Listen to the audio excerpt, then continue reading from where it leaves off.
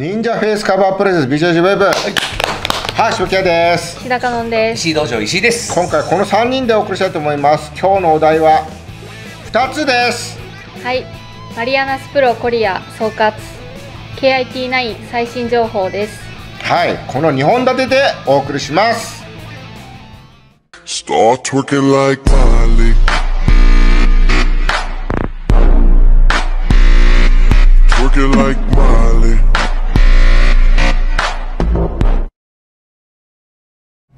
まずはじめにはい、マリアナスプロコリア総括。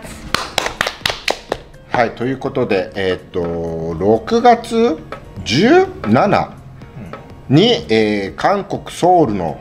えーなんちゃらスポーツセンターで開催されましたマリアンスプロコリア、えーこちらの方、えー昨日帰ってきました。ということで帰国してすぐさまこの収録に挑んでいる、えー今日この頃でございますがでもこれがなんと、えー700人ぐらい出た。非常に、えー多い参加者。そして日本から出た選手たち、えー結構出たんですよ。その、えーキッズからジュブナイルからアダルトからマスターも出て。あ日本人結構でしたね出ました。そしてレポートなかったからさ。なんと全員メダル取りました。おお素晴らしい。全員取りました、えーざっと言うと、えーキッズでビニシウス比嘉準優勝でジュブナイル青帯で、えージョアン小林、まあ、これも準優勝だったかな。でクリスチャン松尾優勝、えーエンゾ山里階級別優勝無差別3位。でクリスチャンマイケマイケ大城ジョン小林で無差えジュブナイルの青帯は無差別のト表彰台を独占。もうクローズアウトクローズアウト。でえっとアダルトのえ女子の紫帯、えー青野光階級別優勝、無差別3位、えー、川室龍子さん、茶帯、えー優勝、茶帯の階級別ライトフェザー優勝、無差別準優勝、そしてアダルトの青帯でニコリーが階級別優勝、無差別も優勝、渡辺瑠璃子さんも階級別優勝で、無差別をだからニコリとやって準優勝、であとは、えっとビューズのチョビンも初勝利して準優勝で田畑祐介、えー階級別、まあ、ワンマッチで負けて準優勝。無差別は1勝して3位入賞。で高橋陽子、えー本名阿部陽子、えー階級別準優勝。無差別も準優勝。まあちょっとこれはね2連敗負けメダルですかという感じで。渡辺修斗？渡辺修斗も、えー一本勝ちで階級優勝。無差別は出ず、けど義も道義も優勝という感じでいっぱい出ていっぱい勝ったと。いうことで非常に良かったと思います。おめでとうございます。で最近の韓国勢のすごい、えー強い強いって言われてるのは結構あったじゃないですか、けどそれが今回まあ、日本の人たちが出て、まあ、色帯ですけどね、で出て、えー十分勝てると。いうところが見えたのが非常に良かったと思います。はい、これどうですか、石井さん。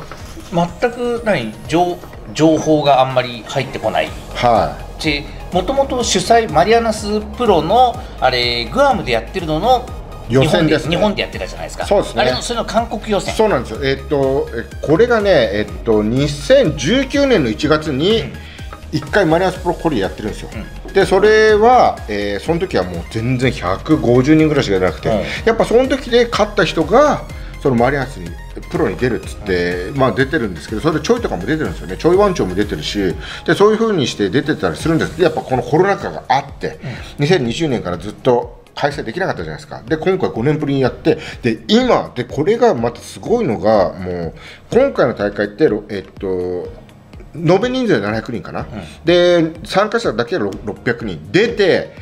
韓国だけで要は東京都で4か所で大会あったと、4か所。マリアンスプロとマリアンスプロコリアと同じ日に？同じ日に、うん。4箇所でやってて、まあ、一番でかかったのはこれなんだけどでそれでいろんなところでやってて、まあ、これが一番でかかった。で黒帯が42人出たんですよ今回、こんだけ出た大会っていうのはこれが初めてらしいです。へやっぱチケットもらえるじゃん。はいで普通の大会は、まあ、あの勝ってもメダルだけとか、まあ、よくて賞品をもらえるみたいな賞金も出たりするのかな、とはいえこんだけ出ればグアム行けるってことで、けえっと、20, 20, 20個ぐらいトラベルパック出たんだけど、うん。やっぱそれで、えっと、黒帯がいっぱい出てでそれで、えー、42人っていうのは、まあ、マスターも含めてだけどアダルトマスター含めて42人が出たのは初めてだっていうことですんごい盛り上がってました日本人選手でトラベルパックをゲはい。ットした選手もいるんですか、いますいます。だからそのニコリーですよ。うん。ニコリーがニコリえは日本の大会出てなかったんだ？いや出たんですよ、うん。柳あさみに負けたんです。あそうなんだ。柳あさみと準決勝でやってニコリーが負けて柳あさみが勝ったんだけど決勝戦で上田真央に負けてるんですよ。うん。一番柳ニコリってニコリが勝ってるイメージだったけど。あそれずっと勝ってましたね。そこでリベンジされちゃったんですよいいとこ。ろあそうなん柳も勝ってるそうなんですよ、うん。だからその柳あさみもいあそのいリベンジしてるんですよね、ん。だからそれで今回はだからそれでいけなくなったってなって、韓国に出てきて、でだってニコリすごいですよ、えっと、義と農技、まあ、まあ日本だったら義と農技で勝って両方ともえ勝って4つメダルみたいな結構やってるじゃないですか、韓国でアダルトで11試合やって11試合全部一本勝ちで優勝ですよとんでもないっすよ。しかもだってアダルトの決勝戦まあ無差別の決勝戦が渡辺瑠璃子さん。渡辺瑠璃子さんのところはあの KIT, KIT じゃなくて、えー KIT か。でやって。で渡渡辺瑠璃子さんも階級別もだって勝って黒もうクローズドガードからのクロスチョークですよ、もうあれで決めて。で、えー、と無差別もだって渡辺瑠璃子さんライトフェザーですよ、でニコリーもライトあの階級あの体重的にはライトフェザーでも全然いけるんだけどなぜかライトに出て、でそれでももちろん1本で優勝して無差別も優勝だから決勝戦を日本から2人勝ち上がって、でやって最後の最後でもう最初にね瑠璃子さんがねポイント取ったんですよスイープかなんかで。でそこでクローズを入れてもう渡辺瑠璃子がクローズですよ。もうクローズガードでもう締めちゃったりなんだりしてるクローズに苦戦しつつもラスト何十秒かの中で腕十字決めて劇的優勝ニコリーすごい。びっくりしました。せっかくだってニコリーだって手首怪我してて実は怪我してるんです。みたいなテーピングがっちり巻いちゃって。すげえな。なおさらワールド見たかったね。いやーだ本当。だからそのだってえっと無差別えっとえっとエンゾ、中学生ですよ、中学生がアダルトに出てあだって子供じゃん。無差別3位入ってますからね。もう最後でテイクダウンかなんかでやられちゃったけど準決勝から飛びつき腕十字かなんかで一本勝ちしちゃってワイの前になっててだからああいう人たちがムンジアルとかパンキッズ出たらっていうのはちょっとあるけど、やっぱり、まあいろんなね事情があるねえ本当それがあるんですが今回勝ったんで、グアムに出ますから。グアム行って。だって去年のだからそのアダルトの青帯の無差別優勝。だって歩みですから、ハファイラ歩み、だからハファイラ歩みってたらニコリやってずっとニコリ勝ってるわけじゃん。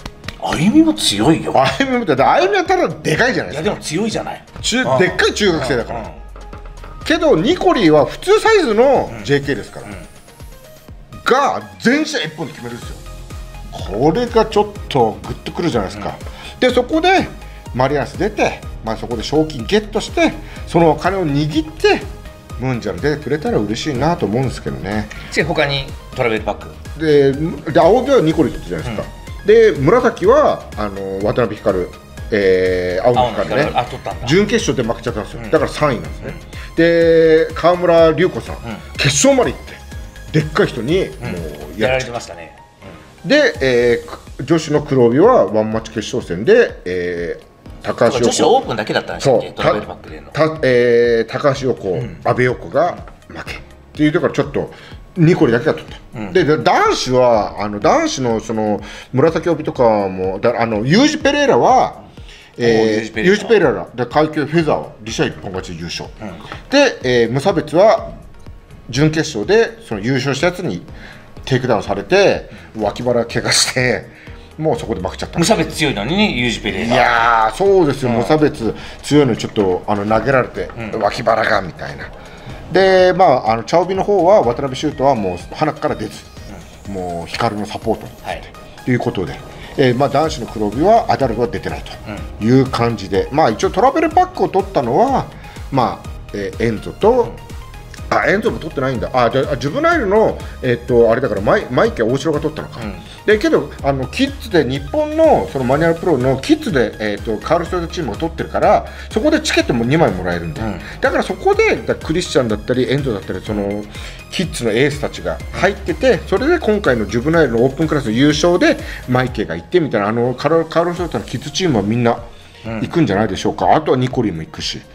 ここら辺の人たちは非常に良、えー良かったですね。カールストヨタっていうチームはほら僕は JBJJF の人間だから、はい。あんまりあそうあれがないんですよ。じゃそうそもそもだってあのー JBJJF ってキッズの大会ってほほとんどないじゃないですか、だから、えっと衛星情報の大会はまずキッズの大会がセットであるっていうのと、ジュブナイルのだから厨房だってアダルト出れる、ん。っていうからやっぱあそこでジュブナイルだったらアダルトに出れるから毎大会出て毎回勝ってるだアダルトマスターもカールストヨタのチームってあんまり出てこない。いやバスターはねあのー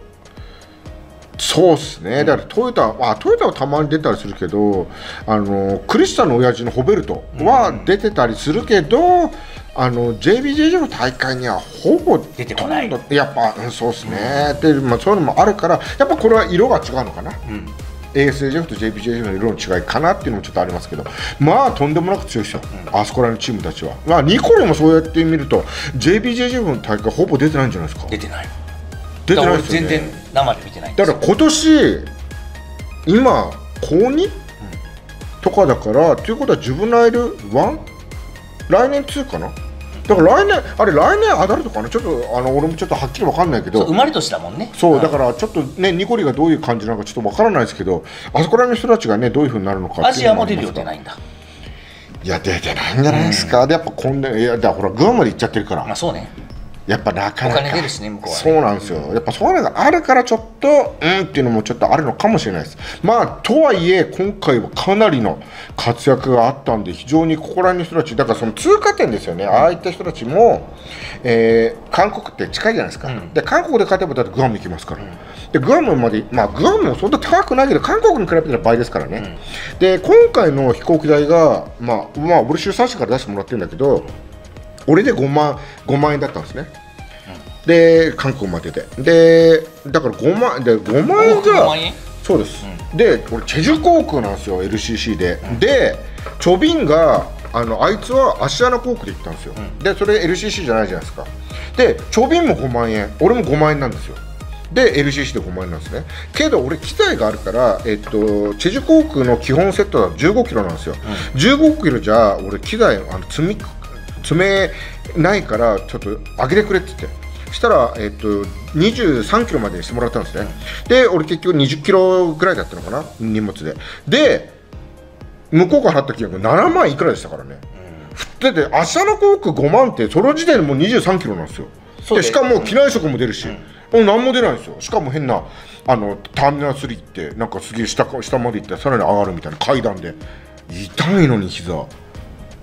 これどうなのだ？から俺 LCC 嫌なんですよ。で普通のあれだもんね。アメリカとか行くのも大体23キロぐらいだもんそう23キロ。だから LCC ってこれ全部細かく金取っていくじゃないですか、で手荷物はいくら10キロまでですなら OK ね。もうきっちり測られるみたいな、入るのも10キロまで。あだってえだって、えっと、ジェットスター7キロまでですからね、一応国際線だから10キロまでなってるけど普通7キロ。でそれプラス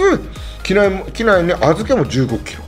で15キロだとダメだからつプラスしたらだって7万いくらですよじゃあさ最初から足払いでいいんじゃないですか？みたいな。まあ俺が払ってないからいいんだけどけどターミナルまでだって2で降りて変なバス乗って降りてあ、まあ、遠く歩いてまた上がって下がってタラップ行ってみたいな。普通だったらふって乗れるじゃん。暑い中リュック背負ってもう汗かきましたよ。LCC 嫌いなんですよ本当に。チェジュ航空まあチェジュ航空のこと悪く言うわけないですがだからちょっとね機内持ち込みっていうかの荷物もあってちょっとこれはもうちょっと大会とは関係ない話ですがちょっとこれはちょっとねちょっとグアムちょっとああとあれはさ機材関係もさバッテリーあるものは機内持ち込みしないといけないルールだからね。にそうだからあれバッテリーもだからえっと俺で自分用のカメラでしょ？サブのカメラでしょ？そう。表彰台のカメラでしょ？ビデオカメラでしょ？あとインタビューのカメラでしょ？機材さらに三脚2個なんですよ。そしたらもうそれ入るわけないじゃんなの無理でしょ？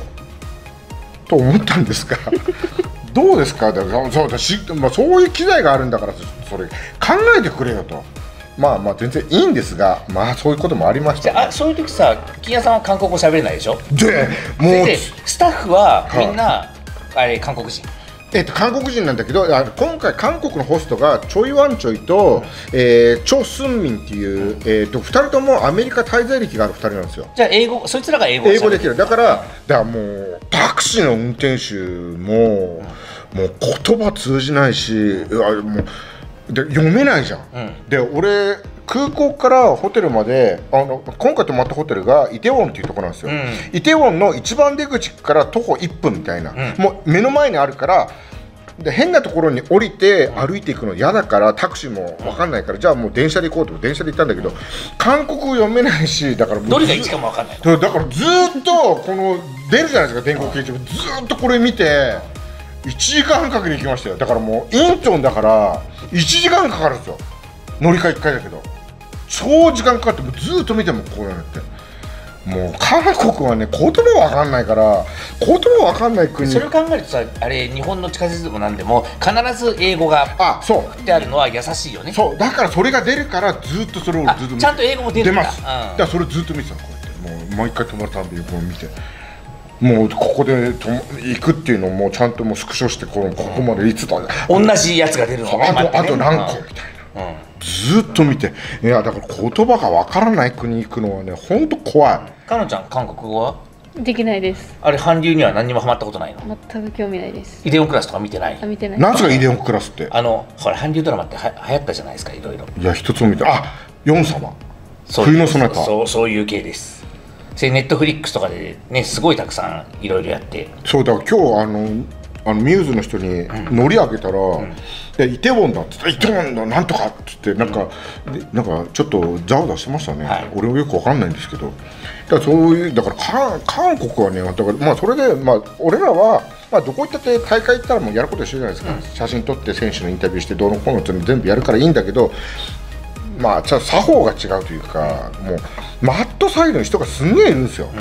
なんかそれはあのマットサイドセコンドはダメだけどいるのは OK みたいな暗黙の了解みたいになってる。みんなそこで動画とか撮っちゃってだからそういうのもあこういうスタイルなんだみたいになってる、まあ、よく聞いたらダメなんだけど、ダメなんだけどまあ声出さないからいいかみたいな感じになってたりして、まあ、日本と韓国ルールだったりなんだりかんだり全部一緒なんだけどそういった取り巻く環境違いますね。でアジアアジアナンバーワンライターの橋本金也としては韓国もそこ網羅しないといけないよね。あ一応みんなと写真撮りましたよ、金也写真撮ってくれて、それも撮ったり、KIT 出してくれとか、もう、もう全、だって俺も、知らねえやつ いっぱいからね、金也シャンなんつって、金也シャン、いやいや、そうなのよ、金也シャンっていうの、金也シャン、で、とりあえず写真撮ってくれって、写真撮るじゃん。KIT 出ないんですけどみたいな、あ KIT 知らないんだと思うけど、そもそも君誰みたいな、で僕はこれですみたいな。言うんだけど、あじゃあ一応フォローするねって言って、まあ、誰が誰かも分かんないから、結構読めないしね名前もそう。ねだ結構まあ確かにまあ最近ほらソン・ウォンジェだったり、ね、ノーヨンナも出してるっていうのもあってやっぱ韓国で知られてすごいありがたいしすごい売り込みはあるんだけど誰が誰か本当俺が分かってないからだそれこそだって日本で知られてる韓国人の選手ってあんまいないじゃないですか。でもそれこそ今月末のアジアでそうそうそうそう。活躍して優勝とかしてくれたりとか。あそうなんですよ。あと金谷さんあれこの間会った誰々です。ってね来てくれたらね。そう金谷シャン金谷シャンですよ。シャンメリーかっつって。でだからあアジア出るやつ出ますみたいな。そこまで出る人ってガッツあるじゃん。うん。そういや出ませんみたいな。出ませんじゃ出ませんじゃダメですよみたいな。でねマリアスプロコリアで勝ってりゃともかく勝ってりゃグアム行ってねまただからじゃあそこで見てじゃあ来年ねみたいになるけどまあマリアスプロでえ準優勝でしたとか、アジア行きませんみたいな。言ってたらそれはちょっと KIT 難しくないですかみたいなところがあってけど一応ねあ頑張ってねっつって、ねそういうのちょっと愛想よくやっておきましたが、はい。まあそれはそれでねいいとしてまあだからそういう人たちもあってだから韓国のところで日本人選手たちが活躍した、っていうのはすごい。だからそれがあってのアジアがあるわけじゃないですかだからこの2週間前そういう人たちの下情報というかいろんな人たち見れたのすごい良かったしでそこでアジアがあってその1か月後にまた KIT になってくるからまだ、ね、だってソン・ウォンジェの相手も決まってないし、えーだから全然あのマッチメイクも進んでない状態なんでそこら辺がね結構あればまた頑張っていきたいなと思ってる。で今回だからその日本からで10月にやる本戦ですね。賞金5万ドル、えートーナメント。あ5万5万ドルトーナメントじゃない5万ドルがいろんな階級に振り分けられる。だから、えー、と3000ドルだったり2000ドルだったりいろんな総額。総額5万ドル、ね、5万ドル全部使い切るんだよ、だからそれはあれなんだけどで日本から行く人たちが35人トラベルパックあるわけじゃないですか、でフィリピンで20人出ましたね、えー、と今回も韓国で20出てる、ってことは、えー、ともうこの時点で12345 70人、75人とか言って。でやっぱりそこでで自腹で来る人もいるわけだよ便乗でで今回のちょびみたくあのじゃあトラベルパックもらいましたカノンさん。でチケット出ますホテル出ます。そしたらホテルがあのツインベッドだから2つベッドだから1つ空いてる。じゃあ私行きますみたいな便乗太郎が来たらやっぱそこら辺も動くわけじゃないですか。だからトータル100人以上出るんじゃないかなっていうのを見込みつつでグアムのローカルの人たちがいるってことでこの10月の大会はかなりでかくなるんじゃないでしょうか。あと今回だってかん、えーと日本でやった大会が1000人ぐらい出たわけでしょ？800、えー、と延べ人数で多分1000人弱出てるは出てるんだよね。でフィリピンも800人とか、えー700人とか出てるらしいです。2日間でやってね。で今回が、えー、と600人で延べ人数700人ということでもう普通の大会としてもかなり規模でかいじゃないですか、でまあ、もちろんそのグアム政府韓国の人たちがやっぱそういうトラベルパック出してくれてるから、まあ、この成功があって本戦まあ失敗しなければ、まあ、失敗することはないと思うんだけどでなっていけば来年も継続していけば、なんと予選の数が増えると。で日本もそう大体この 3, 3国が内定ですよね、でこれからちょっとカッコ仮台湾だったり中国だったりあとマレーシアタイだったりシンガポールだったりっていうのを今精査している状況。だからこれ知った今回の韓国がこんだけ良かったっていうのもそうですよ、まあ、フィリピン日本もすごい良かったから非常に、えー、と動きもいいしでそこでまあそういった日本の選手たちがねいろんなところ行って勝った負けたするっていうその道もできたしでそれで勝てばグアム行ってっていうその国際交流の波が国交がねこのコロナ禍以降いろんなものが動いてるから非常にいいんじゃないでしょうか。どうですかカノンさん？はい。えっとまあ、金銭面の問題とかでうん。海外に挑戦できない、うん。あの諦める選手も多いと思うんですけどこういう試合があると海外挑戦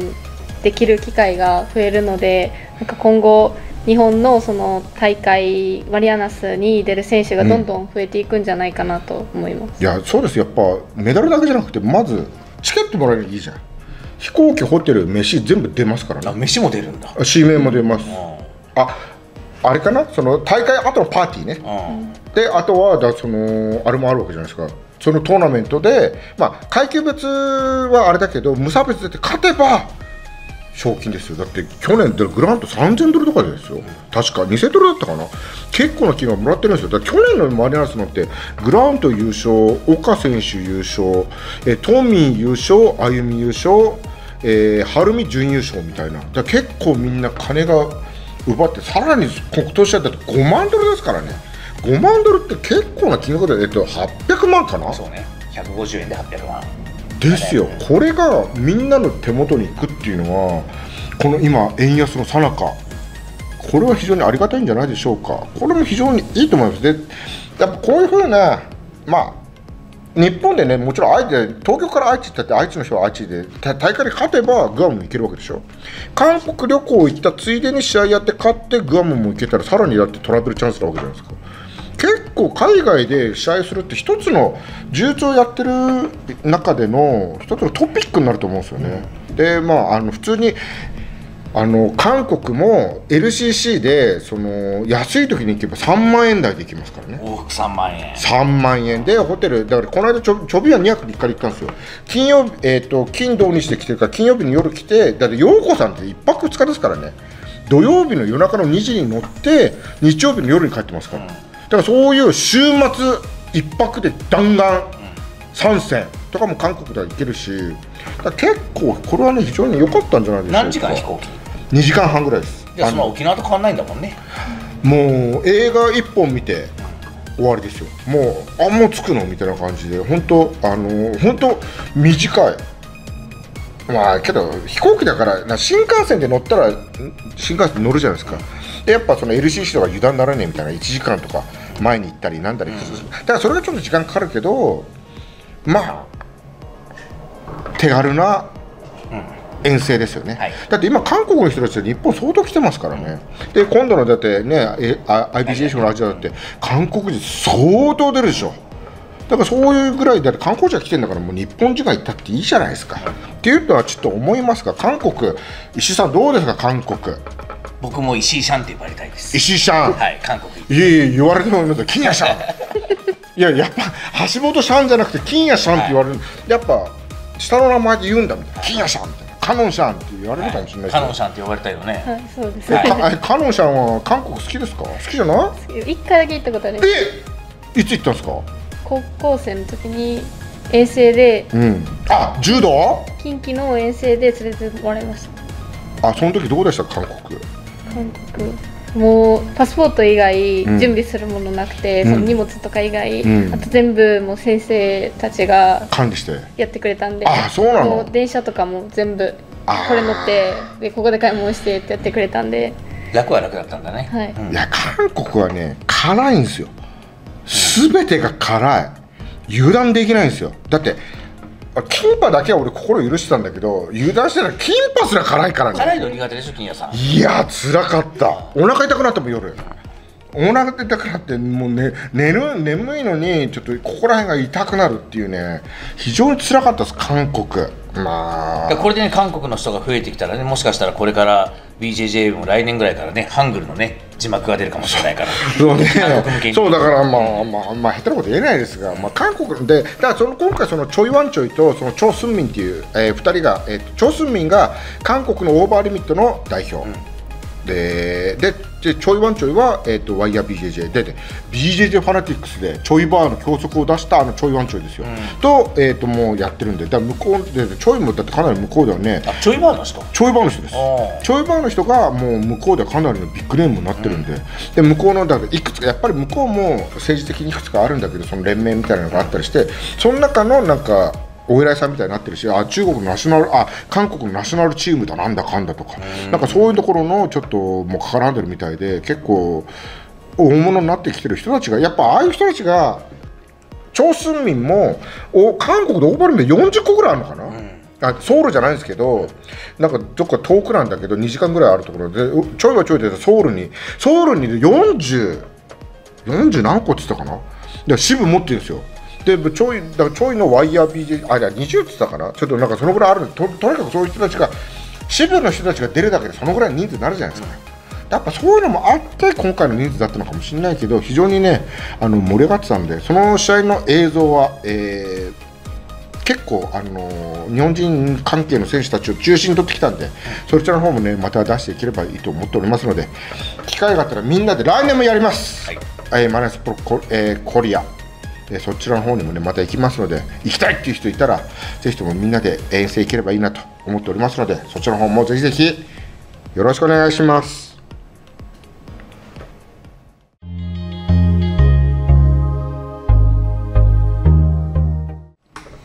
続きまして KIT9 最新情報。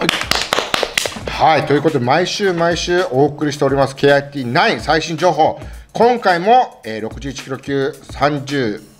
万円賞金トーナメント再戦選手発表したいと思います。なんと今回出てくれるのは篠田光弘選手です。よろしくお願いします。トライフォースから。トライフォースから、篠田光弘選手。天狗、なんで天狗なんでしょうか？知ってますか石井さん？知らないです。ねえ。えー石井さんトライフォース片足突っ込んでんじゃないですか？篠田はこあれちょっと前にあれ一緒にバルバッコは行きましたね。あ本当ですか、はい。そう篠田選手。が今回ね、えートライフォースの方に、えー早川さんに連絡して、えーもうだ俺もがねトライフォースも出てほしいと。あんま出ないよね。そうなんですよ。でちょっとあのーここ何回か、えーオファーがうまくいかなかったりなんか。悪いんですか？いやそんなことないですよ、もう早川さんとはもうずっと LINE やるってやっした、で今回で俺も決めきれないと、でででいっぱいいるわけじゃないですか、もう、まあライトフェザールースターライトウェザールースターってもういっぱいいるんですよ、だからもう一人にしだって決めきれない、でもう誰か早川さん、えーいらっしゃいませんか？ということでお願いしたら篠田だと。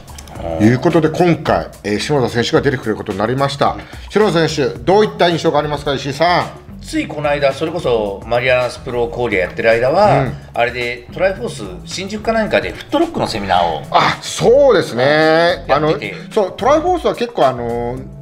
自分のところの、ところで、えーやったりしてますよね。だそれこそ早川先生が今まであれフットロックでタップしたことが本当に数回しかないと、うん。でそのうちの一人が篠田だったっていうぐらい、ん。まあ、技術に定評がある、うん。選手ですよね。そう篠田選手ね、俺が覚えてるのは八王子のとこ、えー大会でしたかね。黒帯デビュー戦のね。デビュー戦でうん戦列優勝。であの時は篠田とん。ラバンバが2人とも黒帯デビュー戦だったんだよね。そうん、しかもら並びでちょうどライトだったから。すげえなっつって、その時試合後にインタビューして、それ以来の